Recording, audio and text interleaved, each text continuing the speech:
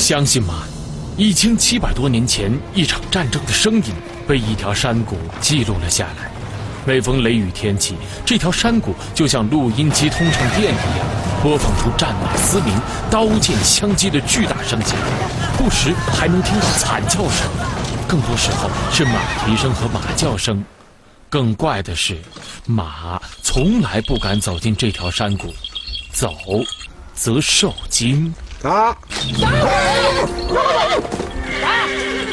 哇！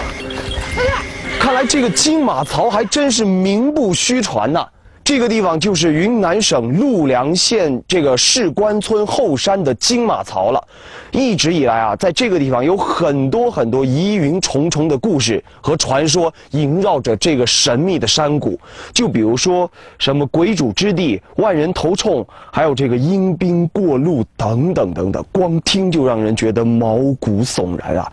这不禁让我想到电影《指环王》里的那个死亡谷。和那些被死神囚禁在死死亡谷里的鬼魂战士。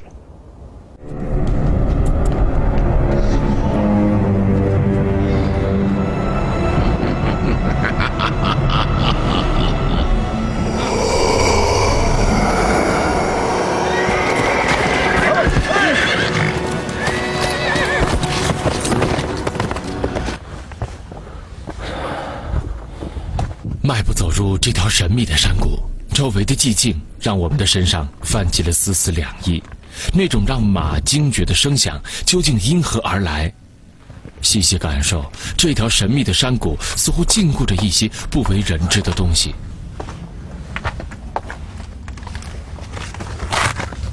据当地人说，那是关于一场战争的记忆。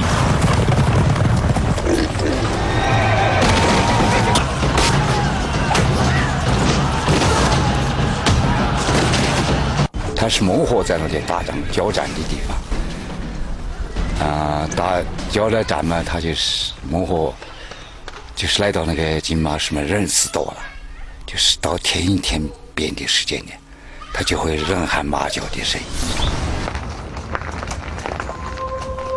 云南的陆良传说是孟获的故乡，这就使得当地的人们很自然地把金马槽里发出的如战斗一般的怪声，和一千七百多年前发生在孟获与诸葛亮之间的那场战争联系了起来。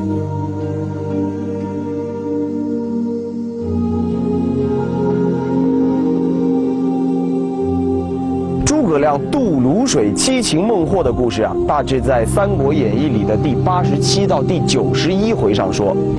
他上演的场次靠后，而且过程也不长。很多人看过之后呢，对这段故事却是印象非常深刻。为什么呢？这大都要归功给咱们云南的这位孟获孟大爷。